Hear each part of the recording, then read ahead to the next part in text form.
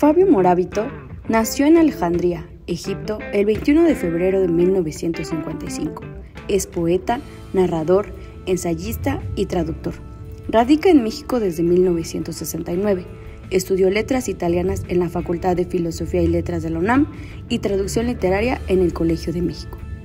Ha sido reconocido, entre otros premios, con el Iberoamericano Bellas Artes de Poesía Carlos Pellicer para obra publicada por Lotes Baldíos el Premio Bellas Artes de Poesía Aguascalientes por De lunes todo el año, además del Premio Javier Villaurrutia de Escritores para Escritores 2018 por El Lector a Domicilio. Parte de su obra se ha traducido al alemán, inglés, italiano, francés y portugués. En Charlas Cazul revisaremos su más reciente título. Buenas tardes, Fabio Morábito, para las charlas de la Casa Universitaria del Libro en el CASUL. Eres uno de los primeros que inicia el 2023, un año en el que estamos muy confiados, digamos, ¿no? teniendo en cuenta que el 2022 fue un poco confundido para mucha gente. Y me ha llegado precisamente este libro de Ediciones Cera, Cada cual su cielo, este, que he leído ávidamente como todo lo que leo ávido de ti. Eres uno de los mejores escritores de, México y cada vez que sacas un libro vamos a ver qué es lo que dices.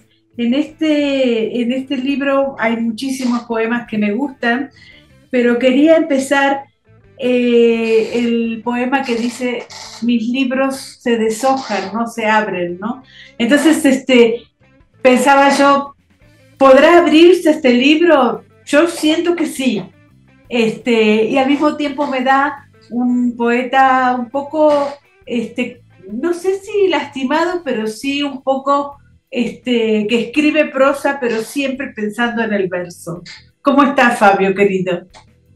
Bien, Mónica, gracias por tu invitación. Eh, respondo, trato de responder a tu pregunta, que es una pregunta difícil, como todas las preguntas que haces, lo cual yo celebro. Y em, me preguntas sobre ese verso, eh, los libros se deshojan pero no se abren. Bueno, es un verso de un poema que habla sobre todo de las piedras. El misterio de por qué una piedra no se puede abrir. Se puede partir en dos, en cuatro, en mil, siempre buscando que al partirla encontremos su centro secreto y en realidad se nos revela que ese centro huye.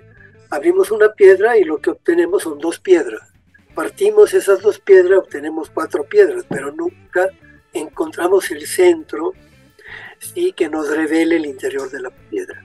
Y de algún modo lo mismo pasa con, eh, con la poesía, es decir, la podemos partir eh, y siempre se nos muestra, por un lado, una, una cara nueva y por otro lado una cara que no se abre, es decir, un misterio que no es solo para el lector, sino para el propio poeta.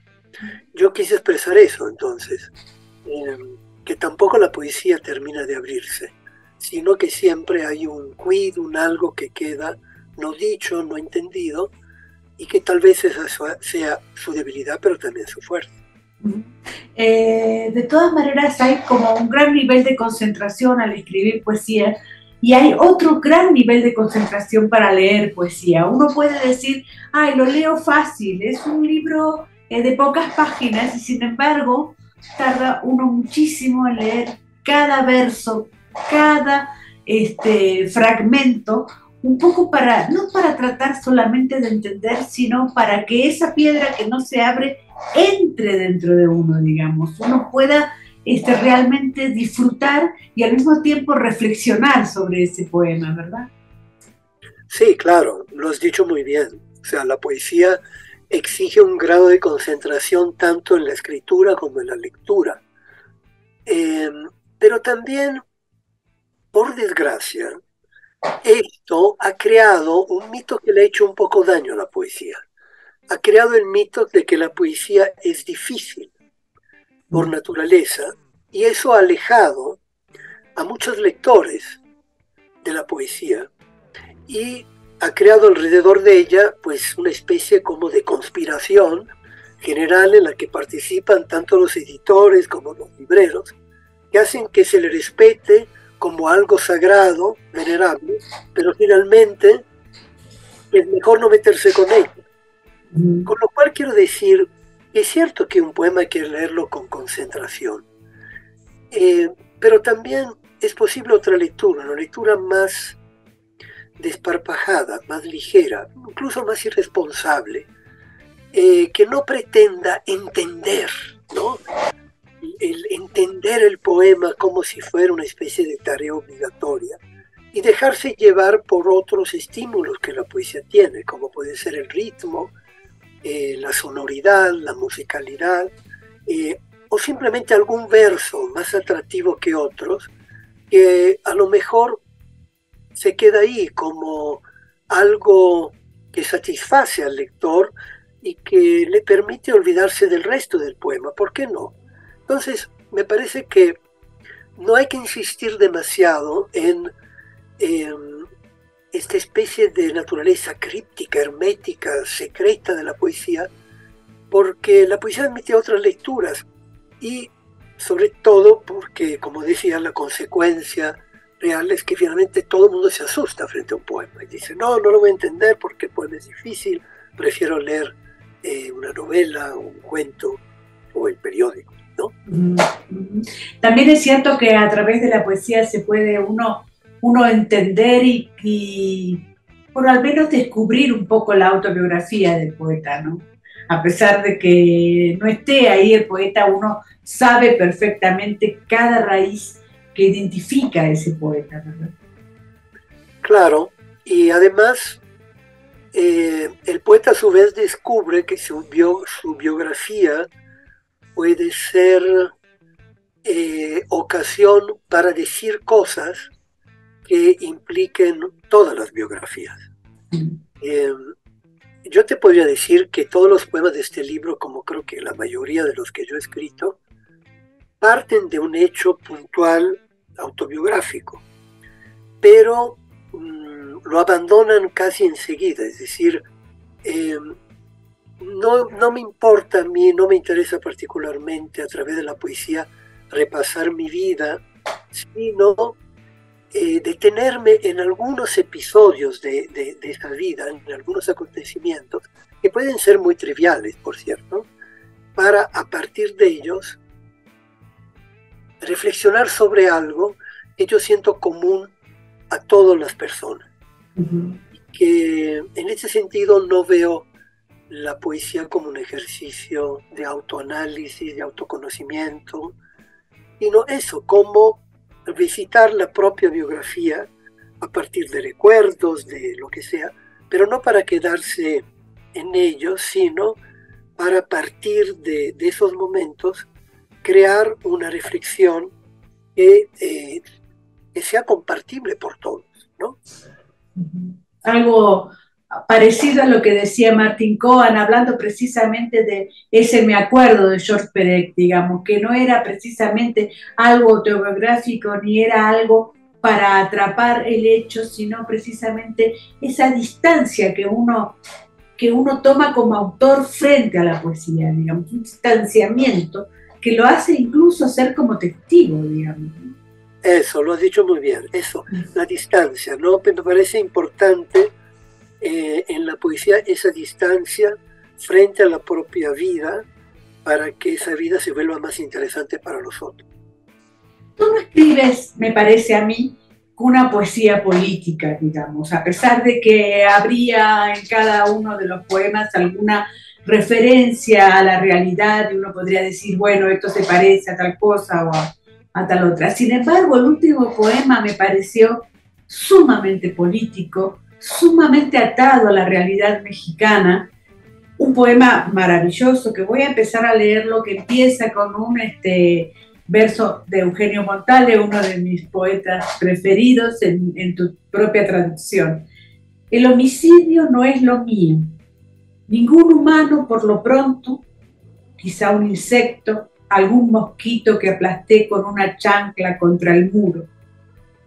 Un crimen deleznable, algo bien equipado de órganos e instintos, de decisiones bien o mal tomadas, ya no se mueve por mi culpa. Ahí está la mancha en la pared, la vida aniquilada de un chanclazo sin ni siquiera una declaración de guerra previa. A mí me conmovió muchísimo todo esto porque yo estoy viendo este, obsesivamente un juicio que hay ahora en Argentina de ocho rugbyers que mataron en la vereda, en la baqueta, a un chico de 18 años, muy joven. Cuando tú dices, respeta pues a todo aquel que estrujas contra la pared, mira sin asco sus vísceras que escurren, si bien lo ves, la suciedad casi no existe, hay solo cosas fuera de lugar, cosas salidas de contexto, y a eso lo llamamos excremento cuando las cosas, es bien sabido, se salen de contexto todo el tiempo y el excremento es algo intrínseco y vital. Me pareció no solamente que estaba reflejando lo que yo sentía, este, obsesionada por este juicio, trato de entender cómo alguien puede estrucar y matar a alguien así, sino también esta muerte todo el tiempo que aparece aquí en México y que ya estamos acostumbradas cotidianamente a lidiar con eso. ¿Cómo ves este poema? Mira, e, es un poema eh, doloroso y yo por eso quise cerrar el libro con él. Y a partir de estos primeros tres versos que traduje de Montale, que empiezan el poema, que son aparentemente versos casi cómicos, es decir, Montale se pregunta, bueno, el homicidio no es lo mío, lo máximo que he hecho es aplastar un mosquito con la, con la chancla contra el muro. Pero entonces uno se pregunta, bueno, ¿y el mosquito qué tendría que decir sobre eso, no? Era su vida, ¿no? Su vida tan vida como la nuestra. Y de pronto llega uno con un chanclazo y ¡plac! ¿no? De un golpe, te, se despide, te despide del mundo. En ese sentido, la vida de ese mosquito es tan importante, o si queremos, como algunos dicen, tan sagrada como, como otra. Y entonces, digamos, estamos llenos de homicidios, rodeados de homicidios. Cuando caminamos, yo siempre tengo ese pensamiento. Cuando yo camino para ir a la tienda, ¿cuántas hormigas no aplastaré con mi... No queriendo hacerlo, y sin embargo, como sea, yo soy portador de muerte, de dolor, de crimen. Y en ese sentido, me permito discrepar un poco contigo, contigo cuando dices que mi, mi, mi, posición no es política. Yo creo que lo es en el sentido amplio del término político, es decir, en el sentido de que el poeta siempre se sabe conviviendo con otros y que esa convivencia siempre, siempre es problemática. No solamente con el vecino, sino con la junta de vecinos, eh, con el discurso del presidente o simplemente con, con su propia mujer. Es decir, todo en un sentido es convivir con otros que nos restan eh, vida y que nos la proporcionan también. Y creo que esa perspectiva nunca, nunca la he perdido en mis poemas. Y que el propio lenguaje de mis poemas, tan directo, eh, que procura ser muy comprensible, creo que es también un gesto político. No porque yo quiera mandar un mensaje o expresar un pensamiento, estoy muy lejos de eso, sino porque necesito estar rodeado, sentirme rodeado de otros, y creo que la presencia del otro, a veces temida, a veces eh, beneficiosa, siempre está presente en mi pueblo. Eh, me haces acordar mucho a una tribu, a una comunidad que camina para atrás precisamente para no matar a los insectos que va encontrándose en el camino. Y a mí siempre me pareció divertido eso. No sé si lo haría, pero... ¿y, qué tribu es esa? ¿Una tribu de qué parte? Es una, es una comunidad, como una comunidad de hippies, y me han ah. contado eso. No, no, no, no lo conozco bien, pero es eso, digamos, también. A veces la línea ética se traspasa, digamos, y no sé hasta qué punto este, pensar en, no cargar tanto crimen, digamos. Claro, no, además, bueno, si tuviéramos que hacer eso como hace esa comunidad, eh, primero terminaríamos por matar a otros. los que inadvertidamente están atrás de nosotros, ¿no? Eh, y claro, nuestra vida se volvería invivible, ¿no? Eh, o sea, hay que aceptar que somos un peligro, ¿no? Y, y, eso justamente es también un pensamiento político, es decir, nadie es puro, nadie está por encima de los demás, ¿no? Sino que siempre terminamos por caerle mal a alguien, por decir o hacer algo que perjudica a alguien y, esa conciencia creo que no la debemos perder. ¿no? Sí, yo pensaba eso precisamente con el tema de la vejez, que ya uno está entrando en eso, y decir, este ya no le gustaría a nadie. Eh, me parece que tiene que ver con, con eso, las cirugías estéticas y todo, tratar de caerle bien a casi todo el mundo a pesar de que uno lo logre, y precisamente por el aspecto físico, digamos. Sí, hay, hay en ese sentido un, uh, un optimismo, pues que solamente habría que definir como estúpido, ¿no? En un mundo que se nos vende la belleza y la salud como imperecederas, ¿no? Y, creo que en ese sentido, eh, mi libro, eh, este último libro, eh, encara la decrepitud como no lo había hecho en libros anteriores, incluso porque vitalmente por primera vez me tocó a través de mis padres darme cuenta de eso, del deterioro, ¿no? del deterioro físico, que visto en los propios padres también es motivo de, reflexión sobre el propio deterioro.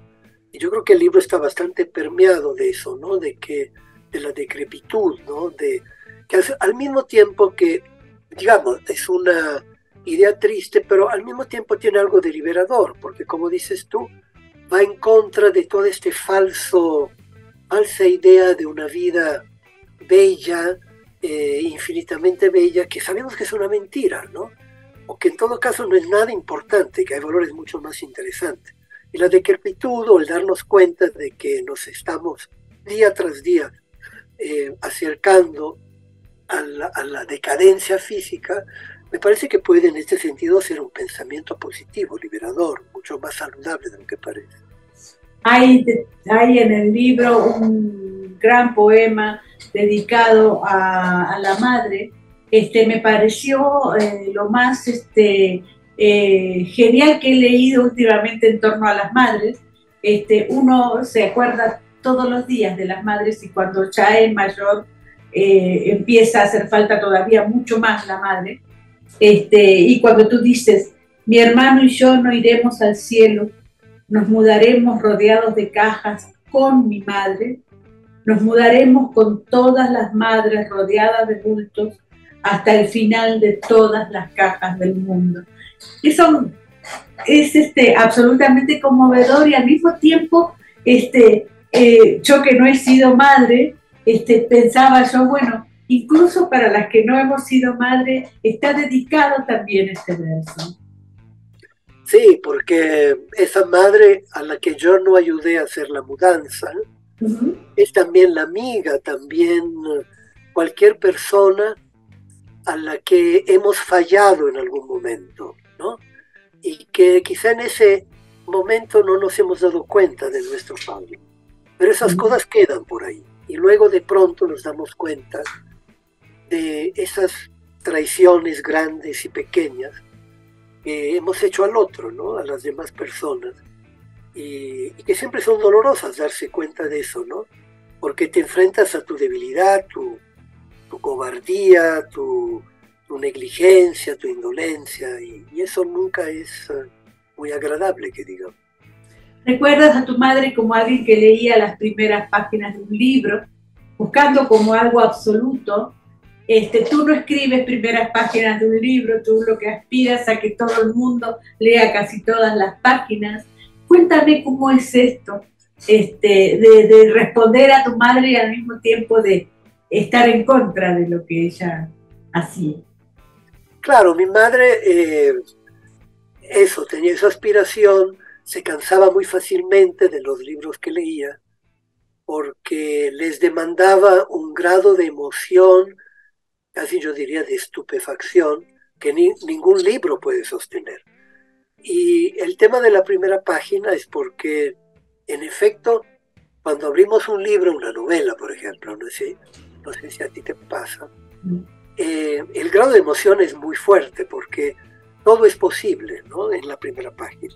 Se nos abre un mundo cuyos límites eh, son infinitos, pero ya en la segunda página ese mundo ya se ha reducido.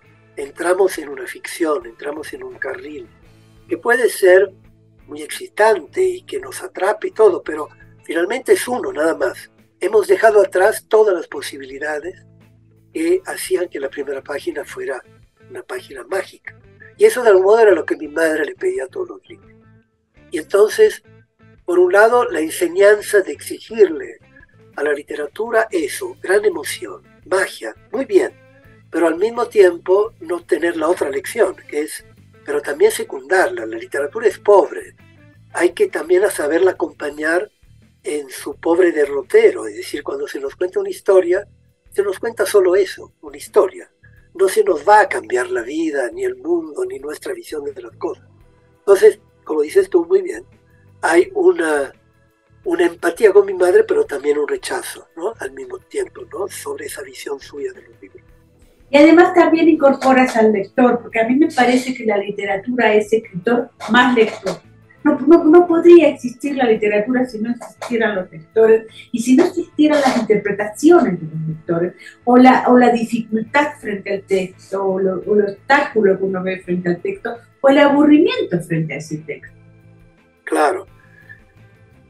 Eh, a ver, ahora que dijiste aburrimiento, a mí siempre me ha quedado grabada una frase que no recuerdo de quién, que decía, si tú no eres capaz de aburrirte con un amigo no es tan amigo como creía. Es decir, la una de las virtudes de la amistad es esa libertad o ese permiso que nos da de poder aburrirnos con nuestro amigo, ¿no? De no ser nada excitante para él, ¿no? Y bueno, ¿qué importa? La amistad es más importante. Y de algún modo lo que se establece entre escritor y lector debe ser algo parecido a una amistad. Es decir, el lector debe saberse aguantar partes de la escritura del escritor que no son eh, sobremanera interesantes, eh, y el lector y el escritor debe saberle exigir al lector paciencia y cierto grado de lealtad. Sin esos elementos no se puede dar esa química entre ellos. Entonces, eh, la primera página no se puede sostener y en la primera página no puede haber amistad, solamente puede haber hechizo, magia, un mago que te sorprende, pero un mago no es un amigo y dura muy poco. Sabemos que el mago aparece y a los 10 segundos ya se fue, porque eso es propio de la naturaleza de la magia. Ya vamos llegando al final. Este, una de las cosas que quería preguntarte es que este libro precisamente es un amigo de uno y la idea, eh, cómo hacer para que te publique una editorial como era, que te publique poesía, que estemos hablando de este libro de poesía que, que es este, maravilloso y que sea una, una cosa más dentro de tu carrera, digamos. No sé, bueno, yo agradezco a él antes que nada, que, sigue publicando poesía eh, a estas alturas, sobre todo después de la pandemia es un heroísmo. De hecho, ese libro yo lo entregué a era antes de la pandemia, pero obviamente por toda la crisis editorial que se vino encima, eh, pudo salir hasta ahora. Em, y yo te diré que con respecto un libro más de mi trayectoria, te confieso que yo nunca miro mi trayectoria. Em, hasta hace un mes se me ocurrió juntar todos mis libros eh, tanto los eh, originales como los que han sido traducidos a otras lenguas, en un mismo estante de mi, de mi librería, por una cuestión práctica, simplemente para tenerlos ahí reunidos. Y bueno, pues ya forman una, hilera a estas alturas bastante larga. Pero te diré que no, eh, esa hilera no es que me llene de orgullo, porque cada libro que escribo en realidad olvida a los otros. Me planteo frente a un libro sin eh, la presunta experiencia que yo he supuestamente cosechado con los libros anteriores. Incluso te diría lo mismo con un poema. Cuando escribo un poema, el hecho de que yo haya escrito muchos otros y que algunos hayan sido incluso premiados o traducidos, no me ayuda en nada para resolver el acertijo del nuevo poema. Incluso creo que me estorban un poco, porque lo que hay que hacer con un poema nuevo que uno escribe es simplemente encararlo como es uno, o como decía Montale, yo siempre he escrito poesía como un pobre diablo, es decir, con lo que yo podía saber, con mis herramientas lingüísticas, y, siempre lo he escrito así, sin decirme yo soy el premio Nobel, ¿no? Y yo creo que esa es la actitud más correcta para escribir no solo poesía, sino todo. Sí, también para disfrutar la sorpresa de la literatura, ¿no? Y escribir con lo que hay, digamos, no, con lo que no hay, ¿no? Eso es así. Te hago las dos últimas preguntas. La primera, bueno, son los árboles que están muy presentes aquí en A Cada Cual Su Cielo por eh, eh, Ediciones Cera de Fabio Morábito. Este, has caminado mucho, has este, visitado los árboles que son como tus guías. Mira, no soy un, gran conocedor de árboles. De hecho, una de las cosas que, digamos, me, me, entristece un poco es yo, yo no sé nombre de árboles. Isaac Babel, el narrador ruso, decía que eh, hay una edad para aprenderse los nombres de los árboles. Una vez pasada esa edad es inútil tratar de aprendérselo, es decir, esa química entre los árboles y uno ya se ha, se ha, extinguido. Yo esa química no la tengo, es decir, yo me sé los nombres de cuatro o cinco árboles y nada más. Pero me sigue cautivando eh, el hallazgo el hallazgo formal que el árbol ha traído a la vida, ¿no? A la vida del planeta. Esa negación del árbol de ser pura hierba y crear esta genialidad que es el tronco, es decir, una especie de hierba que contiene las ganas de abrirse y, y sigue derecho como reteniendo el aliento para abrirse más allá, más arriba, en un mundo mejor, en un mundo soñado, ¿no? Ese es el árbol, ¿no? La arquitectura fundamental del árbol. Y este hecho tan simple no me ha dejado de, asombrar todo el tiempo. Y creo que sin árboles nosotros no existiríamos, incluso antropológicamente creo que casi se puede, se puede comprobar eso. Se lo voy a... Este, Álvaro Enrique, el, el, escritor mexicano, sabe muchísimo de árboles, lo debe de haber aprendido entonces, como dices tú, en la adolescencia. Le vamos a rebautizar Árbol Enrique entonces. Exacto. Y bueno, la última es precisamente cuando hablas prosa, prosa, te escribo, este, pensando en los versos o algo así, no, no, lo encuentro ahora en el, en el libro. Este, y fue, me pareció como como el poeta que siempre trata de alcanzar ese poema que a lo mejor no existe o que nunca va a venir, digamos, ¿no? Es decir, escribir prosa, escribir poemas, escribir con un lápiz, como tú dices, ese lápiz que está eh, con la punta fina, este, y sin embargo a veces no llega o no, o no va a llegar tampoco.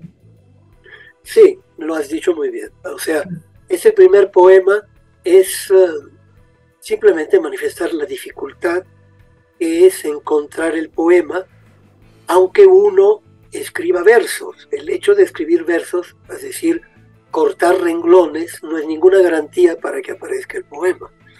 Eh, es como casi un, no sé, un acto expiatorio para que eso ocurra pero no es ninguna garantía. Entonces hay que siempre dar un salto, salir del surco, ¿sí? romper eh, la cárcel del renglón recto de la prosa para dar ese salto y arribar al surco cortado del verso, del verdadero verso, es decir, del que sí es portador de poesía. Entonces es el temor que me imagino todo poeta tiene cuando empieza a escribir un poema. ¿Saldrá o no saldrá? ¿no? Eh, ocurrirá el poema o no ocurrirá. Y me parece que no hay que perder nunca de vista este aspecto de faena que supone cada poema, es decir, de éxito o fracaso, ¿no? Saber que escribir un poema es, intentar escribir un poema es enfrentarse a la posibilidad de fracasar, de, no lograrlo, de no conseguirlo. Y, no hay otra forma sana de escribir poesía, es decir, de perder la conciencia de que muchas veces el poema no, no resulta. Pues. Muchísimas gracias por el libro, a cada cual su cielo. Muchísimas gracias por la entrevista, Fabio Moravito. A ti, Mónica, gracias por la plática. Adiós. Adiós.